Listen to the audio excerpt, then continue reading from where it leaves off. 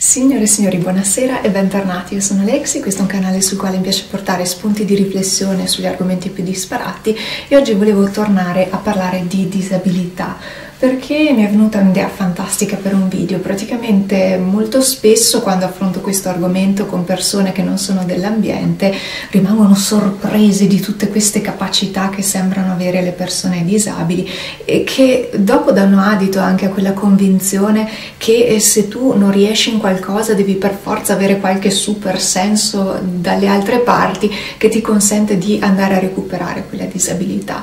E questo fa sì che eh, dopo io vado a fare video come quello in cui cercavo di spiegare che i disabili non sono supereroi e che tutte queste capacità eh, sì possono essere sviluppate, ma vanno sviluppate con tantissimi sforzi, tantissima fatica e che non sono soprattutto scontate. E mi sono resa conto che però un problema è anche probabilmente il fatto che non si parla di queste questioni, per cui non si capisce neanche, a meno che non si sia dell'ambiente, come possano nascere tutte queste capacità straordinarie e soprattutto come una persona riesca a vivere una vita normale pur magari partendo con delle difficoltà. E oggi volevo andare a fare un video che risponde un po' a questo tipo di domanda.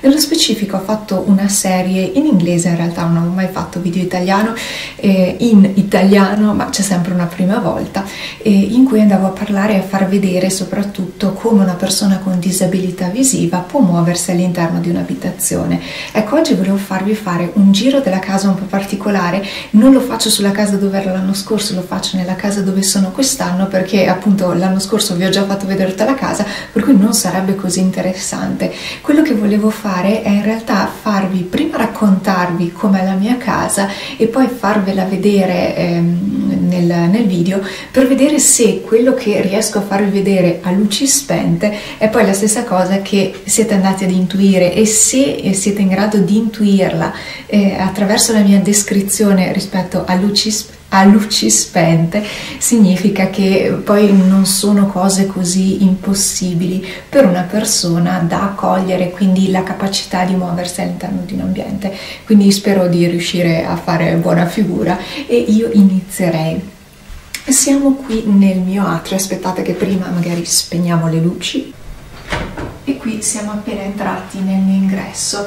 Sulla sinistra ho tutte le mie giacche, eh, sono un po' disordinata per cui ho tante, e sotto abbiamo un tappeto che è veramente comodo soprattutto in inverno quando si è tutto bagnato, qua per terra ho tutte le mie scarpe e procedendo sulla sinistra qua abbiamo gli interruttori perché adesso entriamo in bagno. Subito sulla sinistra abbiamo la doccia, poi abbiamo il WC, abbiamo un bidet, finestra che si può aprire sia normale che bocca di lupo e che è abbastanza grande. Dopodiché abbiamo eh, sulla parete di fronte al bidet uno specchio con eh, il lavandino dove tengo praticamente tutte le mie cose perché sotto il lavandino c'è un armadietto che non vedete da nessuna parte. Magari se vi inquadro adesso eccoci qua. Sotto qui c'è un armadietto dove tengo tutte le mie cose. Proseguendo qui abbiamo la lavatrice. Eh, sotto c'è anche un phon qua sopra sopra la lavatrice abbiamo il phon e adesso andiamo e continuiamo questo tour eh, attaccato alla lavatrice c'è la porta che si apre in direzione della lavatrice quindi sulla sinistra dietro la quale abbiamo il nostro termosifone con il mio accappatoio e la mia giacca perché sono una persona disordinata e ovviamente la giacca la tengo in bagno no?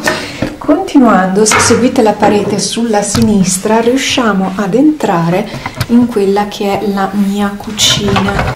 Adesso se riusciamo a sorvolare sul fatto che sono una persona disordinata, ma tanto lo sapete, abbiamo subito il microonde sulla sinistra, proseguiamo, abbiamo il lavello anche qui, con chiaramente tutte le cose giù nel lavandino che, di cui sentite il rumore. E sulla seconda parte del lavello c'è una piastra che può essere rimossa e che quindi mi fa sì che questo lavello diventi anche un piano su cui posso lavorare. Poi abbiamo il, um, come si chiama qua, il fuoco, che eh, è una parte elettrico e una parte normale a gas. Diciamo che ho quattro fuochi, di cui due grandi e due piccoli.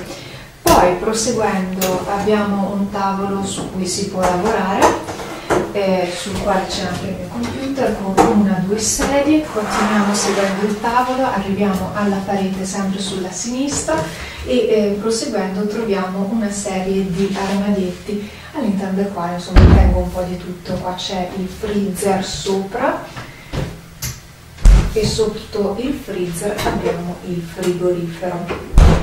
A questo punto noi ci stiamo trovando di fronte una bellissima finestra che dà sull'esterno, quindi una porta finestra. E il panorama vale veramente la pena. Rientrando, continuiamo.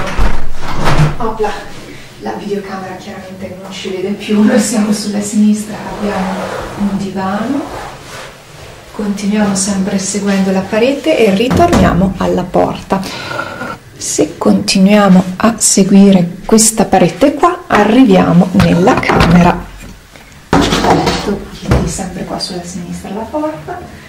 Qui sotto abbiamo il mio comodino, abbiamo un letto, abbiamo casino della sottoscritta sui, sui comodini, poi finestra sulla parete di fronte alla porta, ci giriamo di nuovo, abbiamo un'altra parete con tavolino piccolino, questo da una persona sola praticamente, su cui penso dovesse starci una tv perché qua ci sono anche le prese. Poi abbiamo un armadio, uno e un armadio dove ci posso mettere le cose e a questo punto noi spegniamo la luce, sopra la luce c'è anche il, um, come si chiama?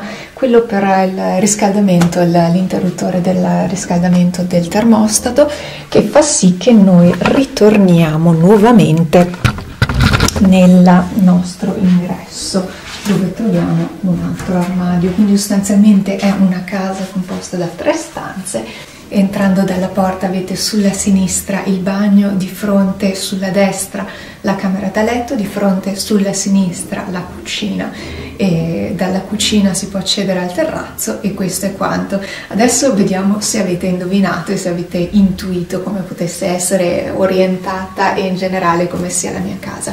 Con questo io vado a concludere, spero che il video vi sia piaciuto, se non vi è piaciuto pollice in giù, se vi è piaciuto pollice in su, in entrambi i casi fatemi sapere perché, questo è un canale su cui affrontiamo gli argomenti più disparati, eh, fatemi sapere se avete qualche idea, qualche argomento che vi colpisce in maniera particolare o vi può interessare appunto sentire.